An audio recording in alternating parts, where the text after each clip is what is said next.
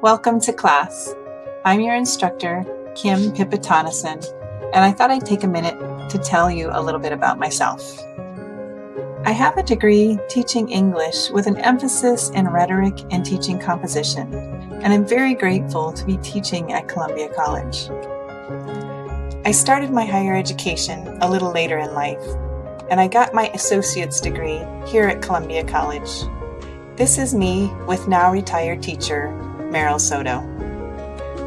While I was going to school, I was a single mom and holding down three different jobs so I certainly understand the challenges students face. But I powered through and I got my master's degree. And in the meantime, I got married. When I have time, I like to travel.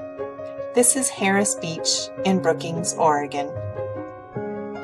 I also recently got to visit Yale University, and it was absolutely beautiful. This is my bulldog, Hazel. She's quite a character. Here she is as the Easter Bunny.